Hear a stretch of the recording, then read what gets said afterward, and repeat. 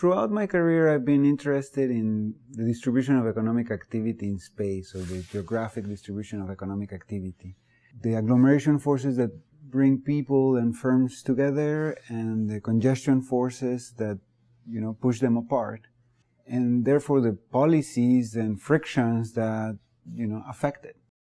So the main project that I've been talking about with and, and developing while here is on Detroit and the urban structure of the city of Detroit. A half century of decline in Detroit has left an urban scar.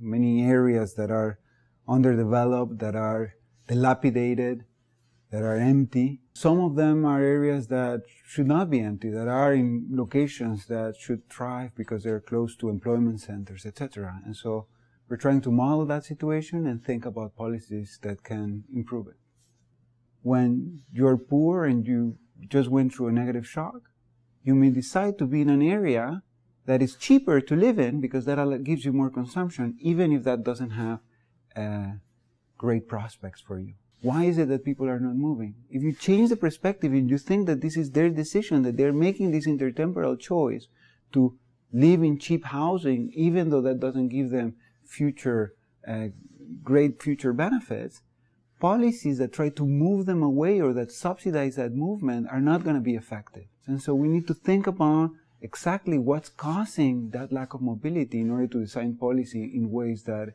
can actually improve the well-being of these individuals.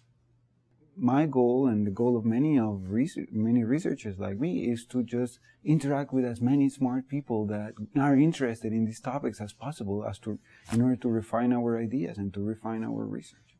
What's different about a spending some time uh, with the people at the institute, in particular the Minneapolis Fed, is uh, that I get access to the incredible people that work here.